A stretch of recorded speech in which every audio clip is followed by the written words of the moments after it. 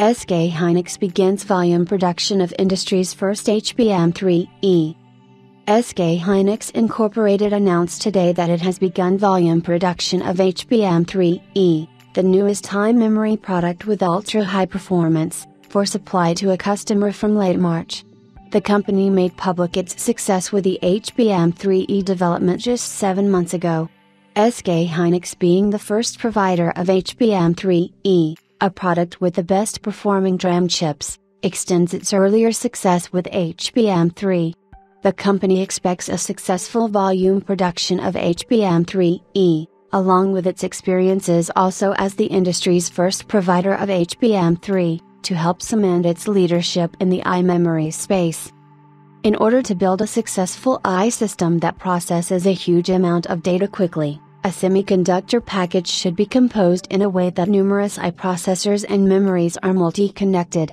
Global big tech companies have been increasingly requiring stronger performance of AI semiconductor and SK Hynix expects its HBM3E to be their optimal choice that meets such growing expectations.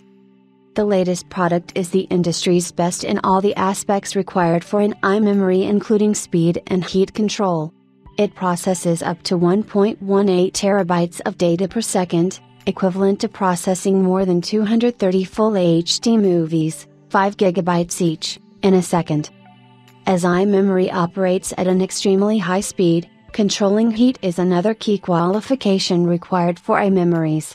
SK Hynix's HBM3E also comes with a 10% improvement in heat dissipation performance, compared with the previous generation, following application of the advanced MR-MUF process.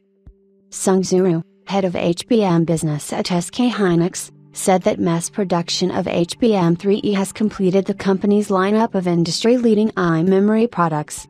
With the success story of the HBM business and the strong partnership with customers that it has built for years, SK Hynix will cement its position as the total AI memory provider.